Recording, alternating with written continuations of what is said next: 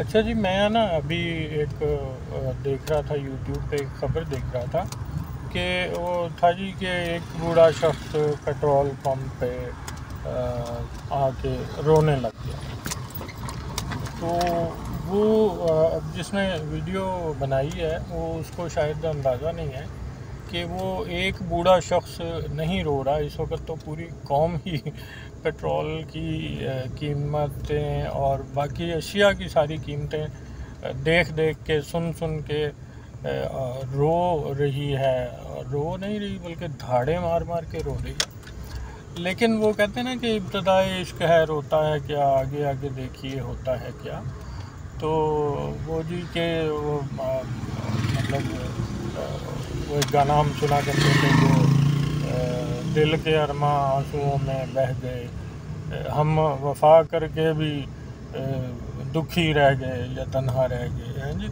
तो ये जो पाकिस्तानी अवाम है, ये इसको मतलब और वफा कर ये कहा जाता है। मतलब वो जो डू मोर डू मोर वाला बात है ना, वो पाकिस्तानी अवाम से पाकिस्तानी, पाकिस्तान की रूलिंग अलीट सारी की सारी करती है। तो अब ये सवाल ये पैदा होता है कि ये जो आवाम जो है, वो इतना पैसा दे रही है पेट्रोल के लिए तो बाकी जो रूलिंग अलीट है, क्या वो भी पेट्रोल के लिए ऐसा ही रो रही है और इतना ही पैसा खर्च कर रही है?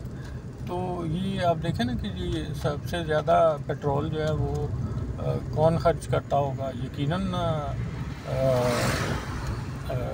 पाकिस्तानी अफवाज जो हैं वो उनकी नकलो हरकत गाड़ियाँ ये वो वगैरह वो उस पर सारा वो पेट्रोल लगता है। तो क्या वो पैसा वो खुद से कहीं से कमा के देते हैं? वो तो पाकिस्तान की आवाम दे रही है। उनका बिल पेट्रोल का। और वो जो अदलिया जजों की बड़ी बड़ी गाड़ियाँ और जहाज़ के जहाज़ हैं और मतलब जहाज़ों में उड़ते फिरते हैं, उनको जहाज़ों के टिकट फ्री हैं, वो भी सारे पेट्रोल से चलते हैं। तो क्या वो जो है, वो पेट्रोल पैसे दे के वो ख़रीदते हैं और ख़र्च करते हैं? और ब्यूरोक्रेसी जो है, वो क्या वो जो उनके घरों में आठ आठ, दस दस और कहा जाता है तीस तीस तक गाड़ियाँ चल खड़ी होती हैं और वो बेतहाशा और बेदरेव पेट्रोल फूंकती हैं। तो वो पेट्रोल क्या वो, उन, वो उनकी खाला या फुक्की के घरों से निकलता है और सियासतदानों को जो पेट्रोल अलाउंस और कन्वेंस अलाउंस मिलता है और जिसमें वो पेट्रोल फूंकते हैं। तो अगर ये सारा पेट्रोल जो है ये फ्री वाला ख़त्म कर दिया जाए और उस रकम को सब्सिडी के तौर पे या उस रकम को पेट्रोल की कीमत को बैलेंस करने के लिए दिया जाए तो फिर पेट्रोल की कीमत कितनी होगी। तो ये भी सोचने की बात है। आप भी सोचिएगा ज़रा इसमें। गौर कीजिएगा।